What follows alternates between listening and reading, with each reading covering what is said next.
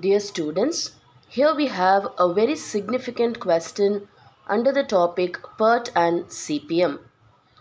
So the question is distinguish between PERT and CPM or it may be differentiate between PERT and CPM or, or uh, write down the differences between PERT and CPM. So now we are going to learn the differences between PERT and CPM. So the first difference is So the first difference is PERT was developed in a brand new research and development project. That is R&D project. Whereas CPM was developed for conventional projects that is the routine projects. So PERT was developed in a brand new R&D project research and development project. Sometimes the projects may be uh, of research type that is it may be uncertain. So uh, in that case PERT will be used. When it is of routine task CPM will be used.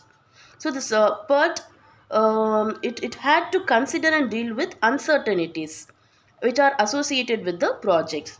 And so the project duration will be regarded as random variables and therefore probabilities are calculated so as to characterize it.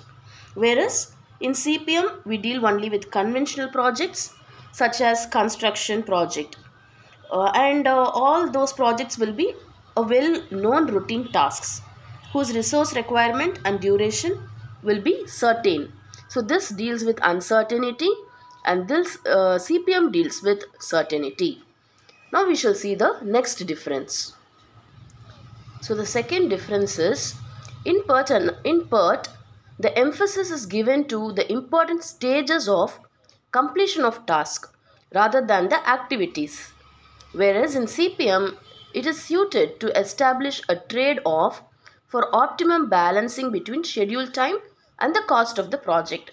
So this is more mainly event oriented and CPM is activity oriented. So we'll, we shall move on to the third difference now. So the third differences is PERT is used for projects in which time estimates are uncertain. For example, in the research and development projects, usually the time estimates will be uncertain and they will also be non-repetitive in nature. Whereas in CPM, CPM is used for projects involving well-known activities. So it will be not uncertain, it will be well-known. So uncertain means something which is not well known. So in PERT it will be not well known. Whereas in CPM it will involve activities which are well known. So therefore they may be repetitive in nature. So this is the third difference. We shall see the last difference now. So the fourth one which is the last one. So the fourth difference is PERT helps in identifying the critical areas in a project so that the suitable necessary adjustments may be made to meet the scheduled completion date of the project.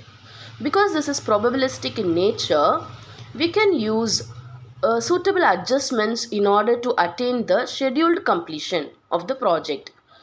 In CPM, the CPM helps in identifying only the critical path and the project length and no adjustments can be made. So this is the last difference between PERT and CPM.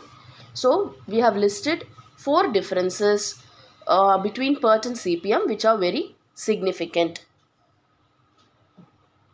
Hope you have understood the differences between PERT and CPM. Thank you.